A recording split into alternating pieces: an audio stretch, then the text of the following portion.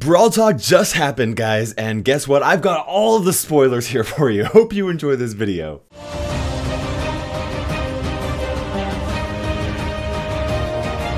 Okay guys, so today I'm going to be covering every spoiler that I could find in the Brawl Talk update video. Basically what I'm saying is I'm going to take the time to explain and cover the things that other people may have missed. I will give my opinions at the end of this video, but before that, let's go ahead and just jump right into things and make sure you subscribe to my channel for sneak peeks as soon as I can possibly give them to you guys. Okay, first bit of information, global release is December 12th. Now, this is now public information that was not on Brawl Talk. It is going to be starting in the morning Helsinki, Finland time. So what that means it's going to start in Asia, then move west by west, country by country until the end of probably the workday in Finland or something like that. Now, if you're curious, Finnish morning time is actually late at night USA. So their workday typically starts for me at 11 p.m. and I'm on the west west coast side of things. So hopefully by the time that you wake up in the morning, December 12th, it will be available for you guys, like kind of like the a, a first Christmas in December. Next sneak peek we got is Leon, an invisible chameleon chameleon legendary brawler. Now he's medium ranged, actually about to be the same as Colt,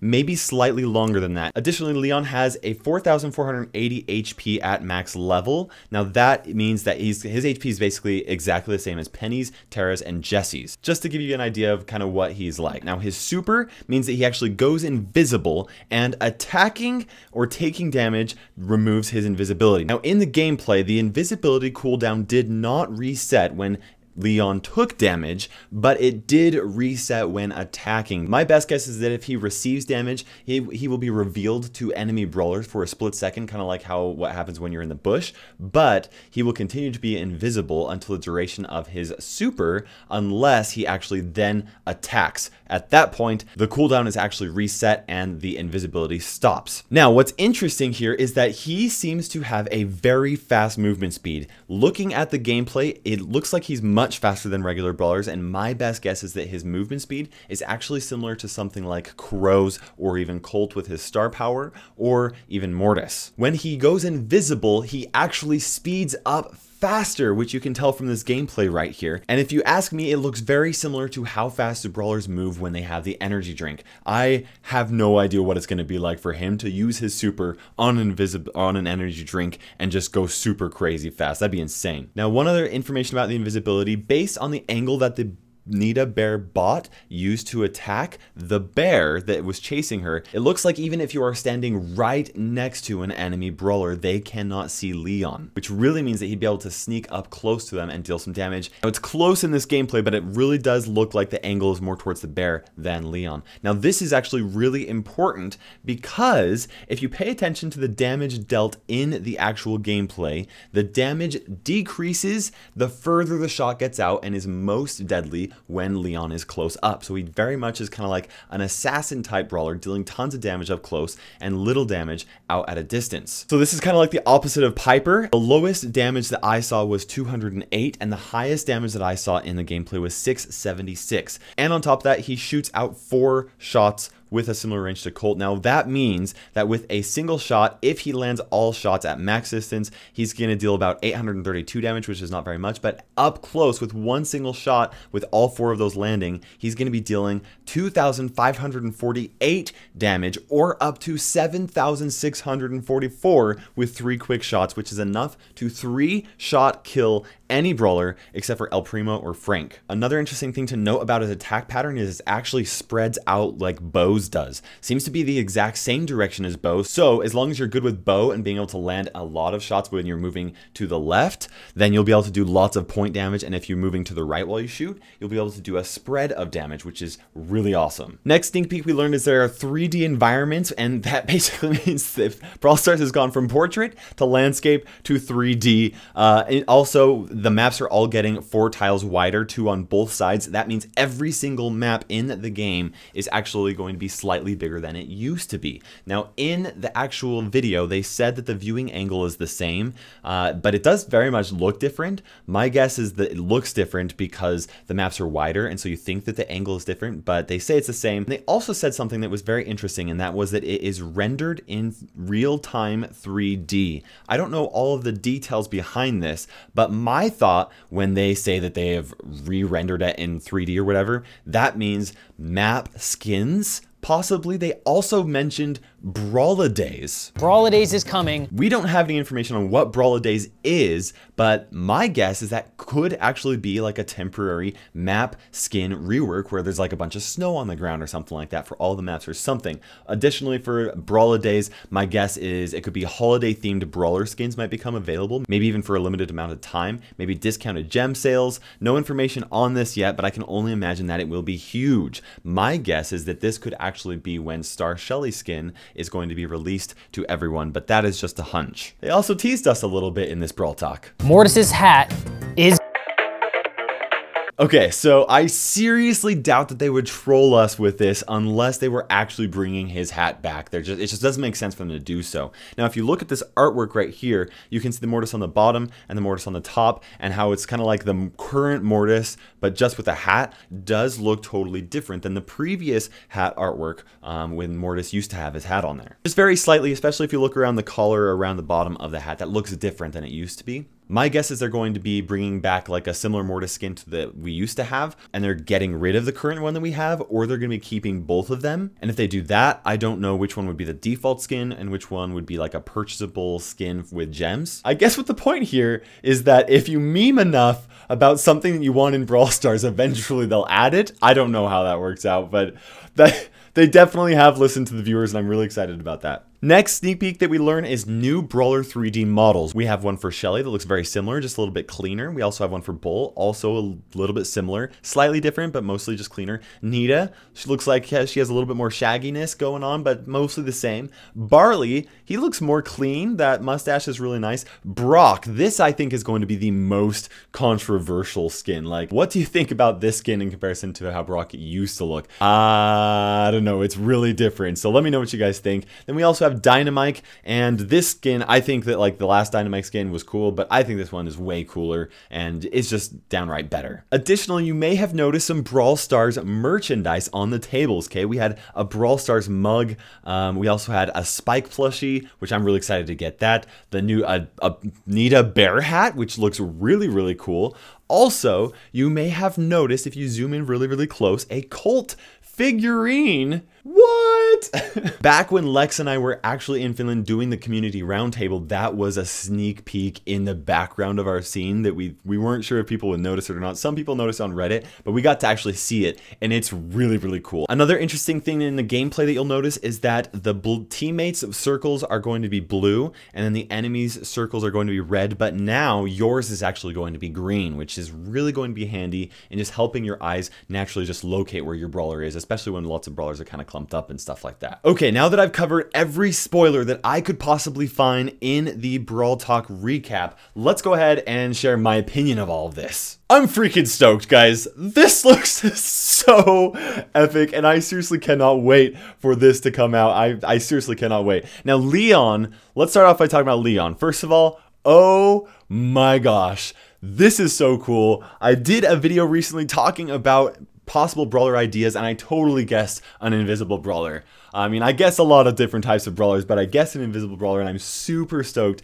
to see this being added to the game. I think it's going to be really, really cool to see how much of an assassin type brawler he is. I feel like Crow used to be the assassin type brawler that I loved, where he could just like jump in, jump out, do tons of damage, and get out and stuff like that. Now that Leon's going to be in the game, I'm actually okay with Crow being a little bit more like long range, kind of like crowd control, keep people poisoned, damage over time type of a brawler. And Leon can be that assassin type brawler that I'm really excited to see. Now, he is a legendary brawler, which means it's going to be very difficult to unlock him, but I will definitely do my best. I've got over 350 boxes ready to open up. I'm really hoping to get him without having to drop some money, but um, we'll see what happens. I'm saving my, my hard-earned money for, first of all, living expenses, and then also for some skins, because I, I imagine we're going to be seeing some new skins in the game. They didn't mention anything about that in the actual Brawl Talk video. They just said skin reworks, but I can't imagine that they're not going to be adding skins. I think that that's just obviously what they're going to be doing, which is going to be awesome. Another thing that I really like about Leon is the fact that he seems to be like a high skill cap type brawler, where um, where you he he has a little bit more HP and survivability than Crow does, but he actually has a relatively slow reload speed, and then also that arcing pattern means that it's going to take a little bit more skill for people to really land off a decent amount of damage from a distance. Additionally, it's really interesting how many mechanics from other brawlers they took. So like they took the arcing pattern from Bo, they took different range, meaning different damage from Piper, although it's like flipped, so he does more damage up close and stuff. Um, but then that added invisibility is just so incredibly cool, and also the fact that he seems to go an incredibly fast walking speed. I'm interested to see how he's actually going to be on like heist. Like, is he gonna be legit on heist because he can just go invisible, walk right past people, and then do tons of damage onto the safe right up close? I mean, over 7,000 damage really, really fast with his regular attack. That's really, really insane. In fact, with three shots, he will be able to take out 25% of a heist safe. One fourth of a heist safe with three quick shots. That's crazy. And his ability to sneak past brawlers, oh my gosh, that's going to be epic. I'm really excited to really dive into the mechanics of Leon and see exactly how his um, invisibility works out. Um, really interesting right there. An excellent brawler that they're adding into the game, and I cannot wait to see which other brawlers they've been working on. They didn't say anything about new brawlers. In fact, in this sneak peek, they just said new brawler, but we know that they've been working on brawlers for a while because of the community roundtable. My guess is since we're they're only saying one, is that either we'll just get like a bunch that they haven't told us about yet, or they will start to release them periodically, like maybe in a month from now or something like that. Like, I don't know, that's just a guess, but uh, that would make sense to me. Okay, let's talk about the 3D environments. Well, actually, before that, let's talk about increasing the sizes of the maps by two, by four tiles, two tiles on both sides.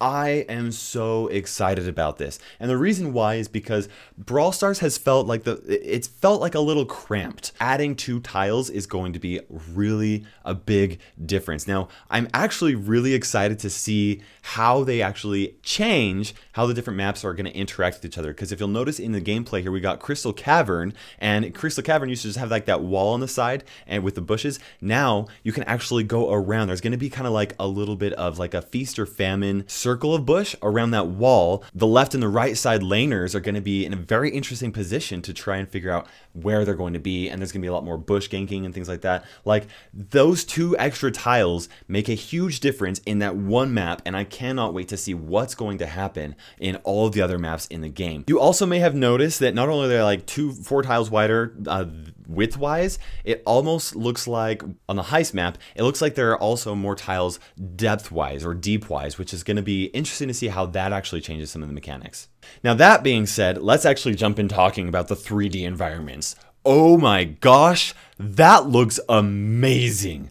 I am like, mind blown. Artwork looks so fantastic and incredible, and I cannot wait to see more of it. Also, it's very interesting to see that uh, that puddle splash map with like island trees kind of like on the side of things like that like I, it's gonna be super exciting to see how the different maps are actually going to look different um, i would I, I think this is really really cool. I think this opens up a ton of possibilities for for Brawl Stars to actually start doing more types of maps and maybe even different decorations, maybe even interactive maps maybe sometime in the future. I don't know. I'm really excited about it. I think the artwork is just phenomenal and I I seriously I mean, I am a little sad that some of my like really great Brawl Stars videos, like my Brawl Olympics videos, are now going to look like old and dingy. And now that even though the video quality is like super high quality, now they're gonna look old and dingy in comparison to the new stuff. But I'm really excited, and you know, Brawl Olympics, guys, happens once a year, so you never know when that's going to start up again. Now, the, the, new 3D models, I mentioned Brock being kind of a con controversial thing. I don't know. They they took a, they took away another bra another brawler hat. Didn't they learn from the first time they did that? Now, with that being said, I do think that this new artwork fits Brawl Stars a little bit more. Like originally when Brawl Stars was released, it was supposed to be like kind of like a Wild Western type of a theme and stuff, and like Brock being like a military brawler like it, it didn't really fit things I, I felt like the closest artwork that he had with another brawler was kind of colt but it didn't really like jive very well with Colt, and he kind of seemed like a loner as far as like his artistic appeal. Now, I I do feel like his artwork is kind of similar to Colt's, where he's gonna like kind of be similar, and he he feels more like Brawl Starsy. Um, I'm gonna be sad to, to to lose him, but I could absolutely see him being them adding like some type of like a military outfit skin for a future update or something like that. I don't know, but it's gonna be interesting. Dynamike, I absolutely think looks way cooler than the old Dynamike. The old Dynamike looked dusty and dirty, and uh, you know I know he's a miner, but uh, I think that this is going to be way cooler and uh, definitely really cool. Anyways, guys, I hope you enjoyed this video. I did my best to try and give you guys as much additional insight into the next upcoming Brawl Stars update as I possibly could. But for the full recap on what is coming to Brawl Stars, make sure you subscribe so you do not miss any sneak peeks because I will be doing those on my channel, guys. Love you very much. A huge thank you to my YouTube and Patreon sponsors for helping support the channel. There's a link in the description below if you're interested in becoming one of those. For now, this is Kairos Time ticking by and we will see you in Brawl Stars.